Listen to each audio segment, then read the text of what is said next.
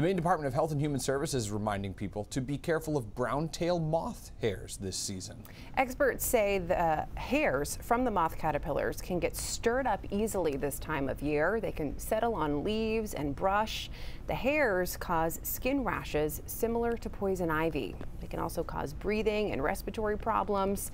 Maine DHHS says the caterpillars typically shed those hairs from April to late July, but they can still remain toxic for up three years.